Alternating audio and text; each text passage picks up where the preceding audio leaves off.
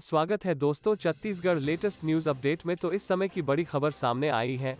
छत्तीसगढ़ में अगले साल 422 नए स्वामी आत्मानंद स्कूल।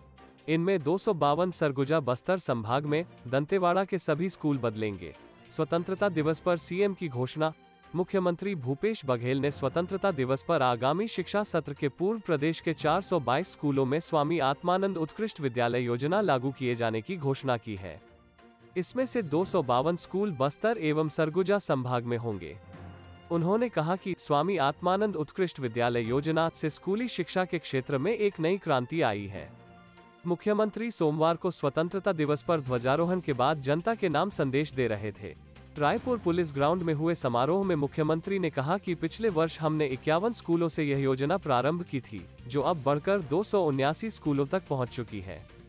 इनमें से 32 स्कूल हिंदी माध्यम के हैं और दो स्कूलों में हिंदी के साथ अंग्रेज़ी माध्यम में भी शिक्षा दी जा रही है। इस वर्ष दो लाख बावन हज़ार छह सौ बच्चों ने इन स्कूलों में प्रवेश लिया है, जिसमें एक लाख तीन हज़ार बच्चे अंग्रेज़ी माध्यम तथा एक लाख उनचास हज़ार छह सौ बच्चे हिंदी माध्यम के हैं। योजना की सफलता को देखते हुए हमने निर्णय लिया है कि अधिक से अधिक स्कूलों को इस योजना के अंतर्गत लाया जाएगा। दंतेवाड़ा ज़िले के शत प्रतिशत शासकीय हाई एवं हाई सेकेंडरी स्कूलों को स्वामी आत्मानंद स्कूलों में बदला जाएगा।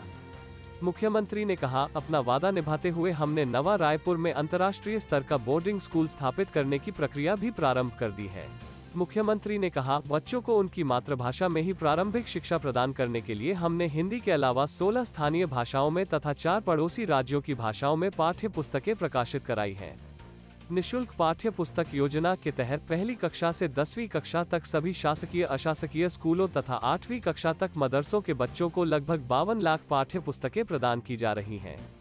नवी कक्षा में पढ़ने वाली एक लाख पचपन हज़ार छात्राओं को इस वर्ष निशुल्क साइकिल देने का लक्ष्य रखा गया है। मुख्यमंत्री ने कहा, शिक्षा के क्षेत्र में हमने सुधार के स्थायी उपाय किए हैं।